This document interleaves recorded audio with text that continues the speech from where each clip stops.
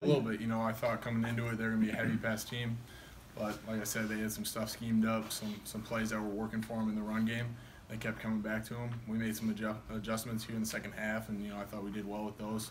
But uh, overall, you know, just gotta give credit to them. They made the plays they needed to, and that's why they won the game. Uh, they must have just made some good adjustments at, at halftime and caught us in some stuff we probably didn't want to be in. But like I said, the credit goes to them. There's a reason they're sitting atop the Big Ten West. Uh, we knew coming into it would be a tough, tough game, a tough opponent, and you know we just didn't make the plays to win. They did.